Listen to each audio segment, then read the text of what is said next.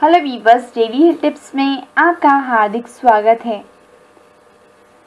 दोस्तों, आप हमारे चैनल को सब्सक्राइब करें ताकि हमारे बताए हुए टिप्स आपको तुरंत मिल जाए। और साथ ही बेल आइकॉन को क्लिक करें हमारी लेटेस्ट वीडियो सबसे पहले देखने के लिए। आज मैं आपको बताऊँगी अश्वगंधा और दूध कौन पिए और इससे क्या फ़ायदा होता है। दोस्तों, अश्वगंधा आयुर्वेदिक चिकित्सा में प्रयोग किया जाने वाला एक महत्वपूर्ण जड़ी बूटी है। जो कि इसके कई फ़ायदे हैं, जैसे कि हम सब जानते हैं। आज हम आपको ये बताएँगे कि अश्वगंधा और दूध कौन पिए और इससे क्या फ़ायदा होगा।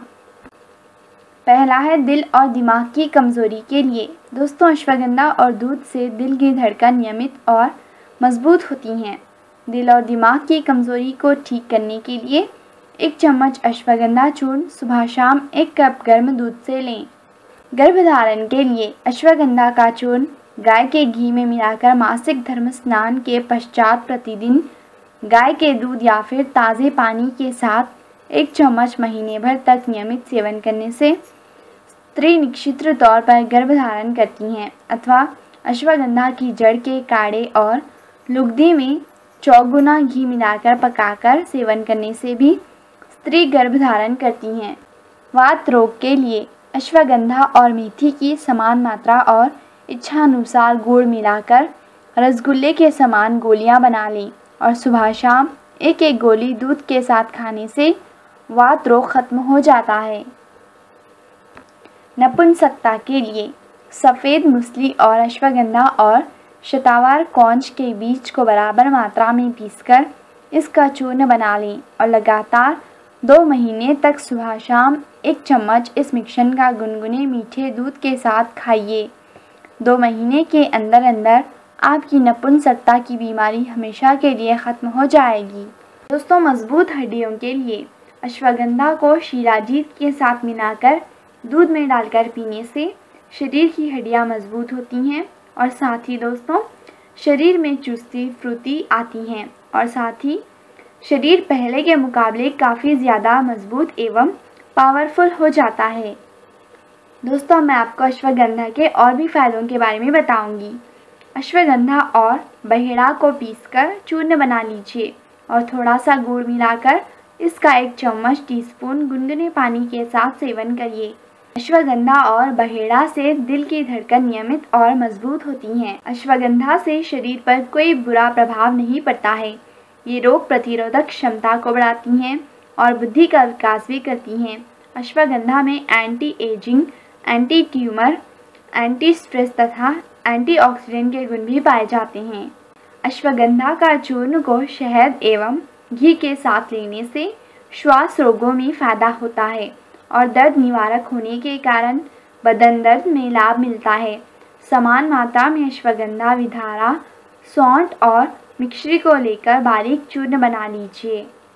अश्वगंधा की जड़ के चूर्ण का सेवन एक से तीन महीने तक करने से शरीर में ओज, स्फूर्ति, बल शक्ति तथा चेतना आती हैं। वीर्य रोगों को दूर करके शुक्राणु की वृद्धि करता है। साथ ही कामोत्तेजना को बढ़ाता है और तथा पाचन शक्ति को भी सुधारता है। दोस्तों, अश्वगंधा की जड़ का चूर्ण सेवन तीन महीने तक लगातार सेवन करने से कमज़ोर बच्चा, बड़ा, बुज़ुर्ग, स्त्री या फिर पुरुष सभी की कमज़ोरी दूर होती हैं। चुस्ती स्फूर्ति आती है, साथ ही दोस्तों चेहरे, त्वचा पर क्रांति यानी कि चमक आती है।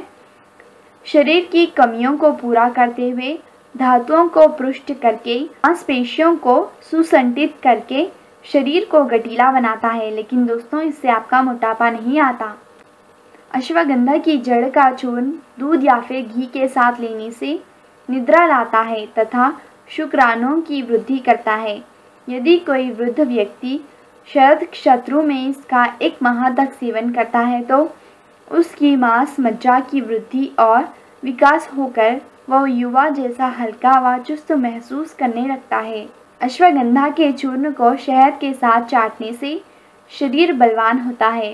हाई ब्लड प्रेशर के लिए 10 ग्राम गिलोय चूर्ण 20 ग्राम सूरजमुखी बीज का चूर्ण 30 ग्राम अश्वगंधा जड़ का चूर्ण और 40 ग्राम मिक्सरी लेकर इन सबको एक साथ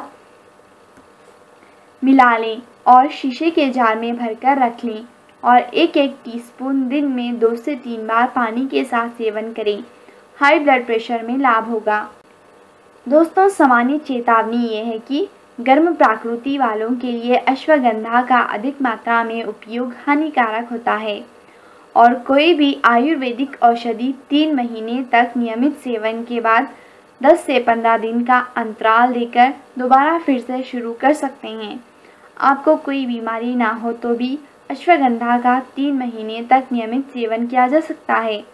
इससे आपकी शारीरिक क्षमता बढ़ने के साथ साथ सभी उक्त बीमारियों से निजात भी मिल जाती हैं। Thanks for watching this video please like share and subscribe our channel thank you bye